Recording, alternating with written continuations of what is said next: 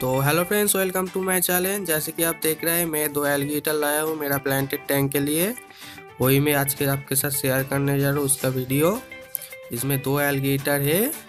तो अभी तो मैंने मेरा फ़िश टैंक में इसको डालूँगा ताकि इसका टेम्परेचर पैकेजिंग का अंदर जो पानी है, इसका टेम्परेचर मेरा फ़िश टैंक का टेम्परेचर पानी का टेम्परेचर सीक्वल हो जाए।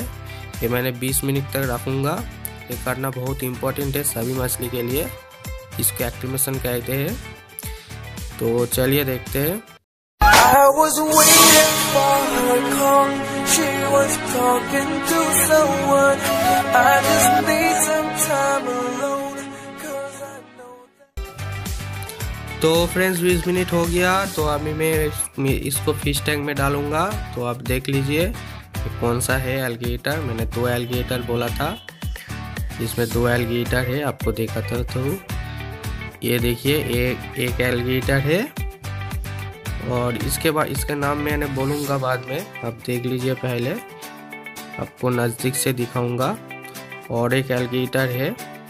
ये देख रहा है आपको। ये दूसरा एलगेटर है। चलिए, इसको आप नज़दीक से आपको दिखा देता हूँ। तो देख लीजिए, ये है पहला एलगेटर इसको साइमिज एलगेटर कहते हैं। बहुत ही फास्ट एलगेटर है। इसको साइमिस एलगेटर कहते हैं। और दूसरा एलगेटर मैं आपको दिखाऊँगा।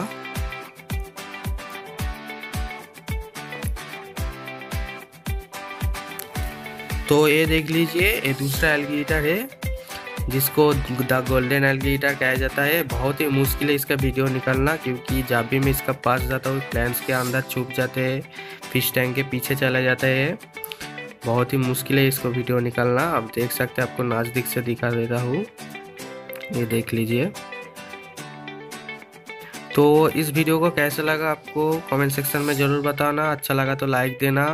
और ऐसे ही मेरे फिशेस के बारे में अपडेट पाने के लिए, मेरा फ़िश टैंक का अपडेट पाने के लिए और फिशेस के बारे में नए नए इन्फॉर्मेशन पाने के लिए मेरे चैनल को ज़रूर सब्सक्राइब करना। तो मिलते हैं अगली वीडियो पर, तब तक के लिए बाय बाय खुदा हाफिज़, सत श्रीकाल